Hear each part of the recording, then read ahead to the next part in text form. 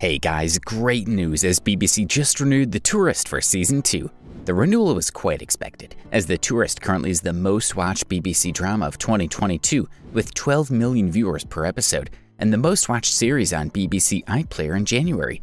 On IMDb, The Tourist is rated at 7.1 out of 10, with viewers praising the performances by Jamie Dornan, Danielle Macdonald, and Damon Herriman, the cinematography that makes not only the characters, but the sweeping Australian outback shine and the dark humor.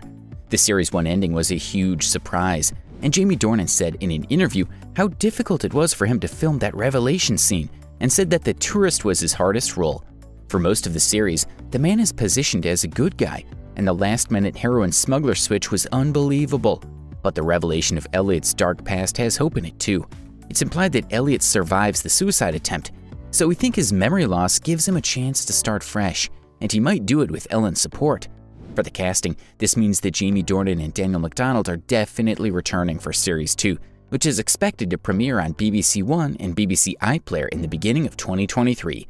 Guys, share your thoughts on The Tourist in the comments with us, and thanks for hitting like for this video.